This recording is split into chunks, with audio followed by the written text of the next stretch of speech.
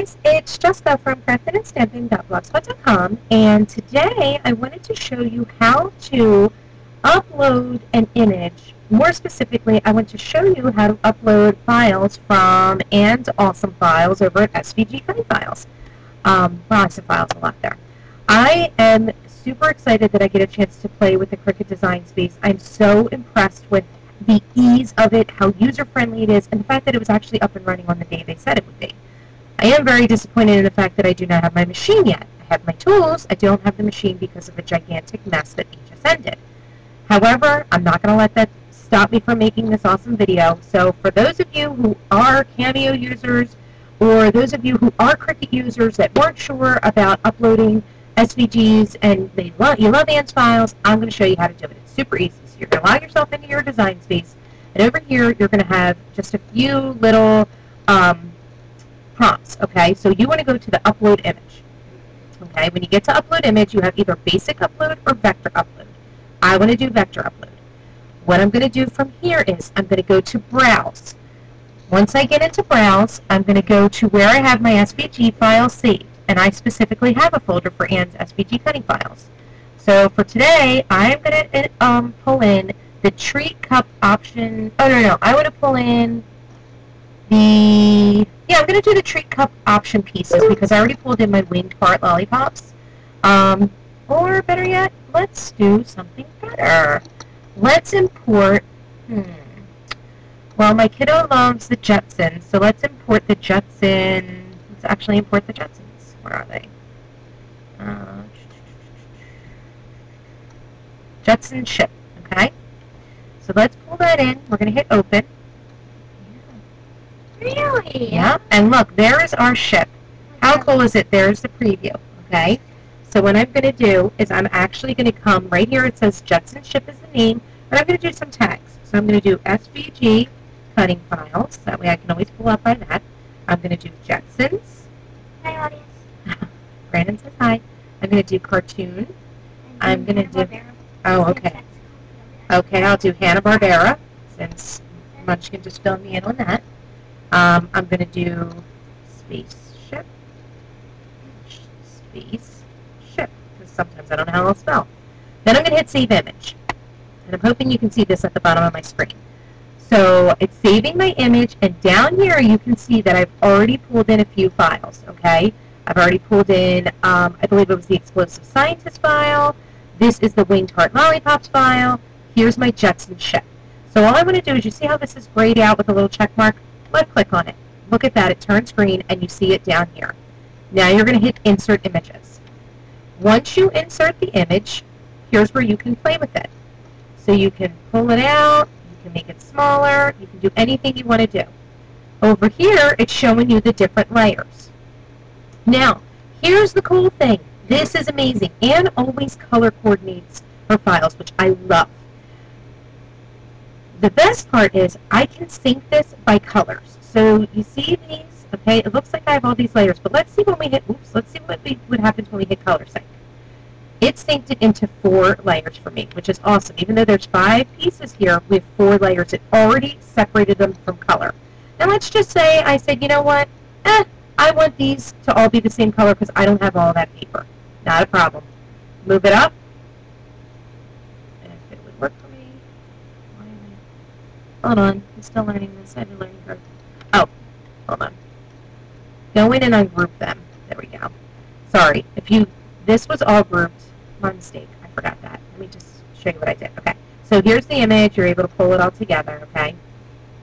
If you hit the right click and you hit ungroup, you will have all individual pieces. Now come back over to the sync, okay, and you will see that you have the three images, okay. Now it already changed the color for me, which is great. I think it did what I was trying to do, um, but because I had it grouped, or maybe I didn't let it wait long enough. So now I have exactly three layers. That's awesome. Now I want to show you something else. We're going to get out of this, okay, we're going to get out of this. I'm just going to delete this, okay. I want to go to another image, okay? So I want to insert another image. Oops. Let's go to upload image again. I've already pulled this in, so I want to play with this. I want to show you something that's awesome about Anne's files. Now, you know sometimes things aren't to scale when you get them you're like, oh no, how big is this supposed to be? I don't want to ungroup everything and try and size it all by itself. No problem. You see this black circle right here? Okay. That's Anne's um, registration circle, if you will. What you need to do is pull in a circle from the um, from your images, okay? And you want to make a circle one inch. So here is the easiest way to do it. If you don't own any other files, this is strictly your only file. You want to right-click. You want to ungroup. You want to take this item, right-click on it. Oops, hold on, hold on, hold on. Oh, okay, come down here to where it says duplicate, okay? So we have this. Now pull one of these away, come back, hold your mouse over. You're going to left, hold the left mouse key down, and then you want to right-click on this and hit group again. So this way it's all one image. Now come back over to this one. What you want to do is hit the edit button, and you want to make this be one inch. Anne has said in her files that you need to have items one inch to be able to print or to cut correctly and to cut to scale. Okay? So what I want to do is now we're actually going to change the color of this because um, let's, that yellow so that way we can see. Okay? Because obviously if I load a black one over top another black one, we're not going to be able to see it. So now let's right click on right click on our yellow and hit move to front. That way it comes in front of my black image. So that way I know when it's sized correctly because I can see. So come back in, grab your group, move it in, okay? Now we want to move this over and I can tell that it's still slightly off, okay? So I'm just going to move it in a touch more. And that looks to be about one inch for me. Look, I don't see anything. It's all my yellow piece. So now what we want to do is we want to delete this out We want to come back, grab our group, right-click, and ungroup. Grab this circle, delete it. You don't need it anymore. And now do you see how it deleted from your layers? I'm going to show you something else awesome. Okay? You see this yellow line and this yellow line? That's actually the score lines. So you see this little cutting tool? Click on it. Once you click on it, go over to score. Guess what? The machine's going to score it for you without any color. We don't need color. So now let's come over and do the second score line. Hit score, no color, done. Now watch what happens when I go to color sync. You see all these? Watch this. It gives me four layers. And you can even change your two reds to be the same. I myself am not going to do that, but you can. You can change your pink. You can do whatever you need to do. How cool is that? Isn't this awesome? I am so excited. I cannot wait to get my machine to start cutting away. Um, I wish I could go further, but I don't have a machine to go to. Um, I'm sure if I was actually linked up, it would allow me to, um, but unfortunately, it's it's not going to let me cut. Um, so, oh well, let's see. We'll hit go and let's see what happens.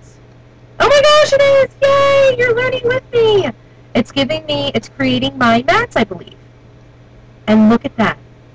And it made my mats, it pulled it in, and I can see all of the mats, the different colors that it wants to cut. This is absolutely amazing.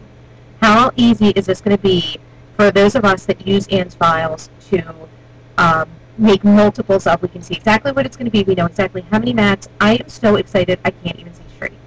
So darn excited.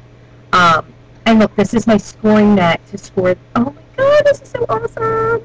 Um, yay. Okay, so this is what you do. I hope you enjoyed this video. I hope this helps you. I hope I didn't ramble too much.